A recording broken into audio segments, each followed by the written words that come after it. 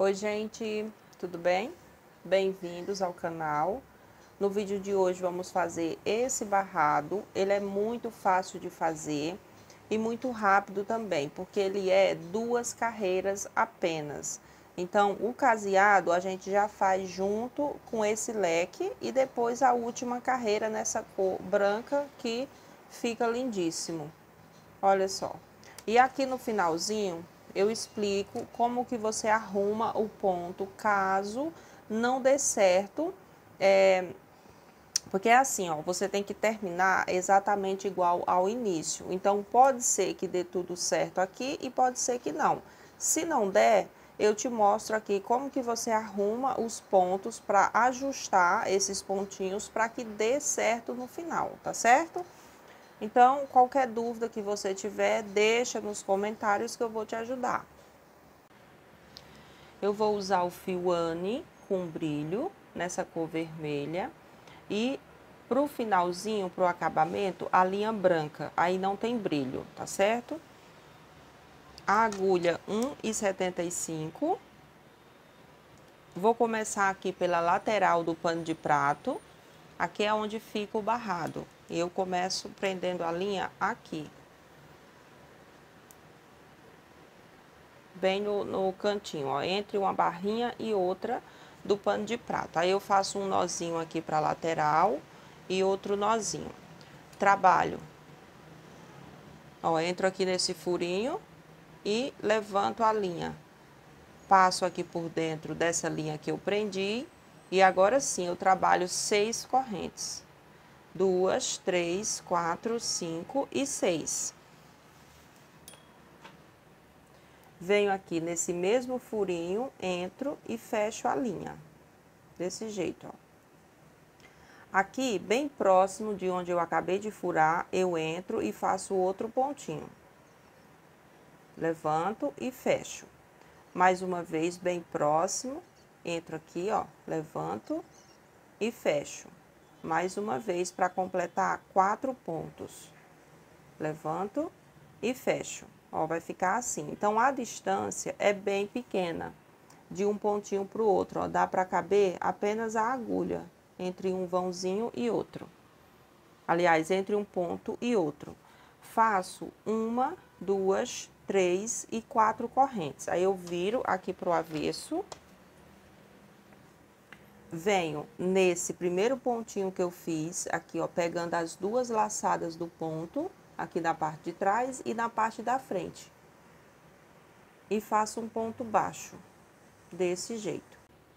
Faço uma, duas e três correntes, viro o meu trabalho para o lado direito e dentro dessa argolinha aqui, eu vou trabalhar pontos altos, ó, e vamos contando. Um, dois, três, quatro. Então, quatro pontos altos eu fiz. Contando com essas três correntinhas do início, eu tenho cinco pontos. Olha só. Um, dois, três, quatro e cinco. Agora, eu faço três correntes e aqui dentro eu vou fazer quatro pontos. Um, dois, três e quatro. Faço uma, duas, três correntes. Nesse mesmo espacinho aqui, eu entro e faço um ponto baixíssimo, assim. Pego nesse primeiro pontinho aqui, ó, que tá no pano de prato, nas duas alcinhas, que é na parte da frente e na parte de trás, para não ficar repuxando, e faço um ponto baixíssimo. Faço uma, duas e três correntes, venho aqui mais à frente e furo, ó, deixando um espacinho de daquele caseado mais tradicional, tá? Ó, mais ou menos um centímetro. Aí você fura e fecha. Faz uma, duas e três, aí vem mais à frente, fura, pego a linha aqui atrás, levanto e fecho. Agora, eu vou repetir essa parte aqui, ó. Vou furar os três pontinhos aqui bem próximos para formar os quatro pontos. Furo, pego a linha e fecho. Mais à frente, furo, pego a linha e fecho. e mais uma vez furo e fecho. Faço uma, duas, três, quatro correntes e viro aqui para o avesso, o avesso do pano de prato. Vem no primeiro ponto que você fez aqui, ó, do bloquinho de quatro. Deixa eu virar por completo para ninguém se confundir. Aqui. Venho aqui nesse primeiro ponto, ó.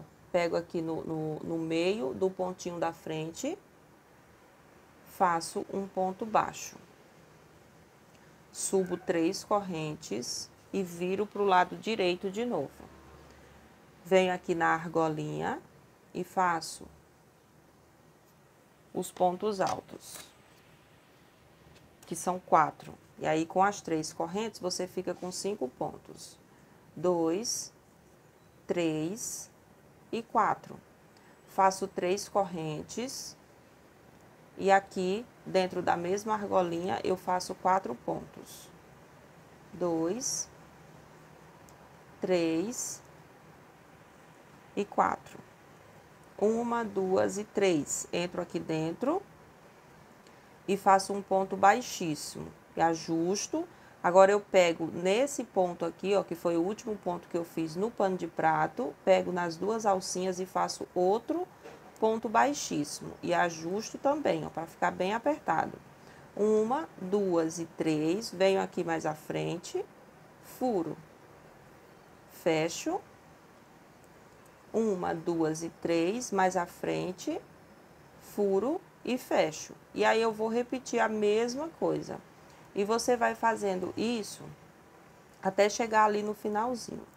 Quando chegar nesse finalzinho, eu vou voltar com vocês para te explicar caso o seu não dê muito certo aqui na questão é, da parte do canto.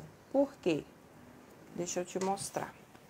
Ó, a gente tem que terminar exatamente igual ao início. Então, quando chegar aqui, pode ser que dê certinho de você ficar com seu desenho, aqui o, esse leque, bem no canto ou não. Então, se não der certo, a gente tem que ajustar o ponto para que dê certo. A gente tem que fazer um acabamento é, bonito. Os dois têm que ficar do mesmo jeito, o início e o final, tá bom? Cheguei aqui no final e como eu expliquei para vocês, a gente tem que terminar aqui exatamente igual ao início. E perceba que se eu for fazer aqui o meu último desenho, eu vou ficar com um espaço muito grande para o canto. Eu vou desmanchar alguns desenhos, até aqui é o suficiente. Aí eu vou aumentando o ponto um pouquinho para esse desenho aqui, ele ficar exatamente aqui na ponta, no canto, tá? Ó, eu vou desmanchar até aqui, mas antes de desmanchar, você vai fazer o seguinte. Tá furado aqui, você fura bem aqui. Aí tá furado aqui, você fura mais à frente, o outro mais à frente, mais à frente, e aí você vai aumentando um pouquinho de cada um. Deixa eu te mostrar. Começo aqui por esse espacinho aqui. Tem as três correntes, então tava furada aqui, eu furo mais à frente, um pouquinho. Um, dois e três, aí tava furada aqui, eu furo mais à frente. E assim eu vou fazendo, até chegar ali no final de novo, onde você vai ver que vamos terminar exatamente igual ao início.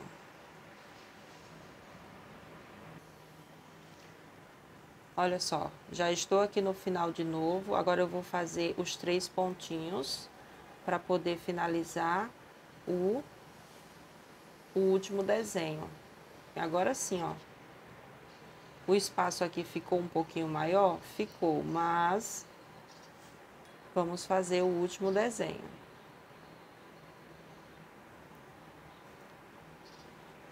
As três correntes. E aí eu faço os quatro pontos, um, dois, três, quatro. Três correntes, os quatro pontos, um, dois, três e quatro. Uma, duas, três correntes. Entro aqui no mesmo espacinho, faço o ponto baixíssimo, outro baixíssimo no último pontinho e agora seis correntes. Venho aqui do outro lado, no mesmo furinho aqui, ó, e faço o meu último ponto. E agora é só seguir o caseado com aquele mais tradicional, que é três correntes, fura mais à frente, três correntes, fura mais à frente, e assim você segue até dar a volta em todo o seu pano de prato. Quando chegar ali no finalzinho, eu volto para a gente fazer a última carreirinha. Olha.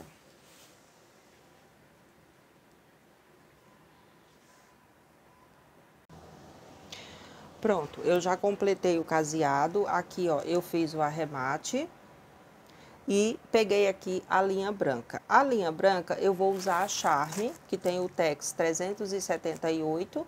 Vou usar com a agulha número 2. Porque eu quero essa última carreira mais firme. Então, eu indico que você use é, um Tex a mais, aí um pouquinho mais grossa a linha, para dar esse efeito de que eu estou falando, tá? Então, aqui eu vou entrar na terceira corrente, contando de baixo para cima, aqui dessas seis, ó. Você vai contar. Uma, duas e três. Na terceira, você entra, faz um ponto baixíssimo.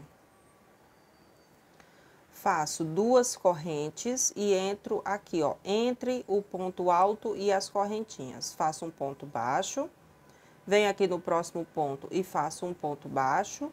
No próximo, um baixo, baixo no próximo. Dentro desse espaço aqui, eu faço um ponto baixíssimo. Uma, duas, três, quatro e cinco. Laçada, entro aqui e faço um ponto alto. Faço duas correntes dentro do mesmo espaço, um ponto alto. E cinco correntes. Três, quatro e cinco entro aqui dentro e faço um ponto baixíssimo. No ponto alto, eu faço um ponto baixo, ponto baixo no próximo, no próximo também, aqui no próximo também, e dentro desse espaço, ó, entre as correntes e o ponto alto, eu faço outro ponto baixo. Agora, uma, duas e três correntes. Em cima desse ponto aqui do caseado, eu faço um ponto baixo.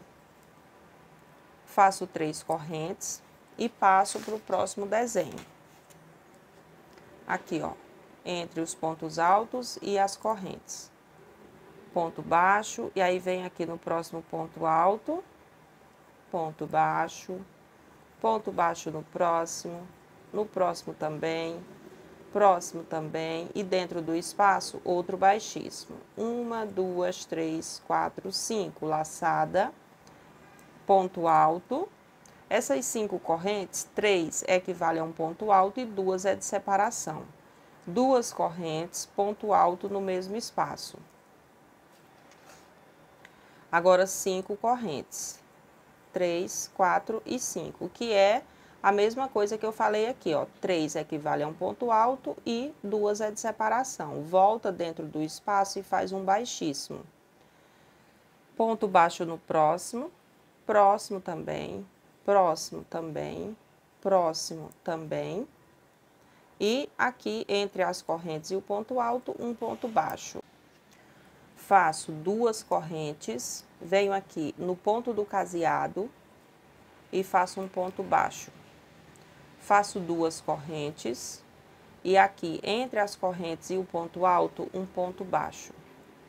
Venho aqui no próximo ponto alto e faço um ponto baixo, ponto baixo no próximo, no próximo também, próximo também, dentro do espacinho das correntes, um baixíssimo.